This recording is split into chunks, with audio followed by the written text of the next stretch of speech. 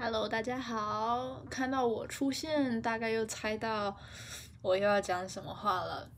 是的，我又不能出动画了。但是这一次并不是因为太忙，而是我手贱剁它。好了，这事情是这样的，我本来动画快画好了，就剩最后一点后置就可以结束。结果呢，我很少见在电脑面前装水壶，就是从一个瓶子倒到我的水壶里，然后就倒着倒着倒着倒着，突然盖子直接喷掉，里面的水就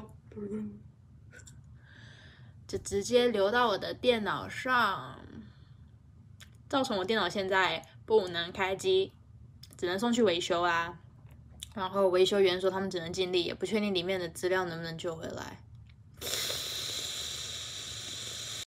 救得回来是好的啊，当然我也希望救得回来，但是救不回来的话，那距离我下一次出动画又要久一点了，真的很抱歉，这么快又要再剖这样子的影片出来